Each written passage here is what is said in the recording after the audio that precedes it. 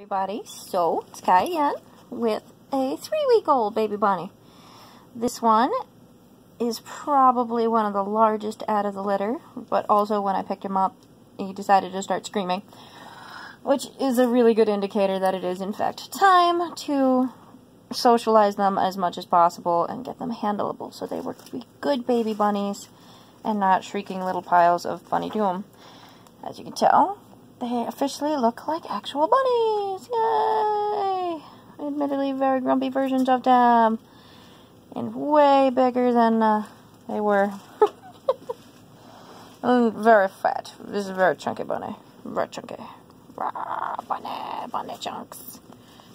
Nana likes them.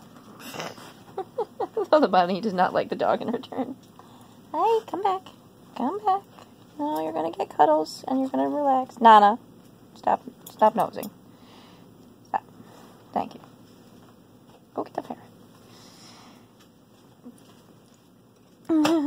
Precious little Blackie.